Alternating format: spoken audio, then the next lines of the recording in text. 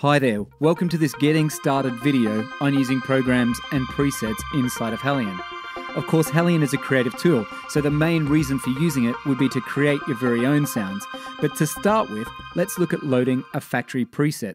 It's really easy. You simply drag a preset out of the media bay and into an empty slot.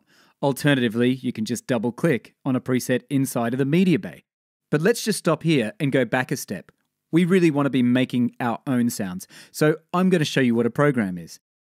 Empty programs are housed down in the bottom right hand corner of HALion in the program table. To load a program, in order to access its sound or create a sound, we need to drag it up into the slot rack.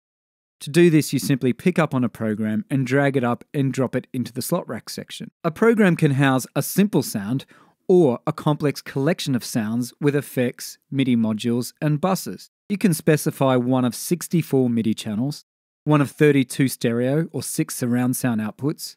You can change the level of the program and also move the pan. Now we have an empty program slot. It's time to load a preset into that slot. Click on the Load Record tab and the Media Bay tab to get access to the Media Bay, which is a categorized library of all the sounds that are housed inside of HALion 6. Select all instrument sets to view all of the diverse instruments that come inside of HALion. Let's say I'm after a piano sound. It'd take ages for me to go through all of the individual instruments to look for a piano sound. The Media Bay can instantly search this vast collection of sounds to help us find the sound that we're looking for. A great library will have everything neatly categorized and organized to make it as easy as possible for us to find a specific sound. The Media Bay is incredibly flexible. Click on the triangle in the top right hand corner to access the menus and submenus that will allow you to redefine how you search for presets in the media bay. Each instrument inside of HALion has its own personality, and they all draw on a number of unique mechanisms to generate and manipulate sound.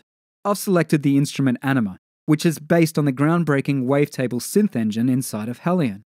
Instantly, the media bay narrows its search down and offers me presets that are only housed inside of Anima. We can narrow down our search using the filters and then double click on a preset to load it into the empty slot. Each individual instrument has its own customized user interface. This is called a macro page, and you'll find it under the Macro tab. Any one program can contain a combination of different elements, so the controls and menus and tabs allow us easy access to these different elements, and it makes it really easy for us to start manipulating and affecting the sound. The macro pages also allow us to change things like the modulation matrix, voice control, and arpeggiators and MIDI modules, which allow us to be really creative in the way we trigger these sounds. Quite often, the macro pages will link important functionality to things like MIDI pad triggers, which gives us instant access to different arpeggiator variations. We've also got access to 8 quick control encoders, which are linked to important sound parameters, and we can very quickly manipulate the sound further by moving these encoders around. The quick controls and the trigger pads can easily be mapped to an external MIDI controller.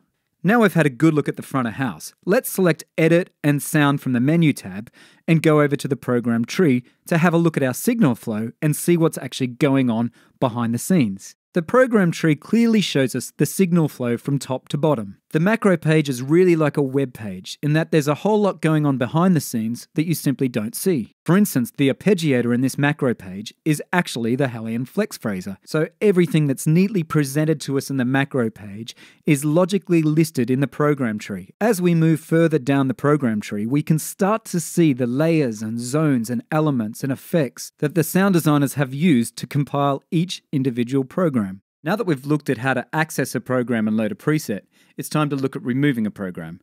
So to start with, I'm right mouse clicking and saying remove program, but this will only remove it from the slot rack. If I want, I can keep that program loaded into the program table and all of the samples will continue to be loaded into my project. I can also cut programs and paste them elsewhere if I need to. Once again, there's a prompt associated with this. Finally, we can have multiple programs in the slot rack. If we want to remove them all at once, we can click on the trash can icon and it will remove all of the programs. You'll notice that the macro is still there and the program is still in the program tree and in the program table. We're going to be throwing these HALion tutorial videos at you thick and fast, so please have a good look around, subscribe to our YouTube channels, and follow us on social media for plenty more tips on how you can be creative with HALion. I'll see you over in the next video.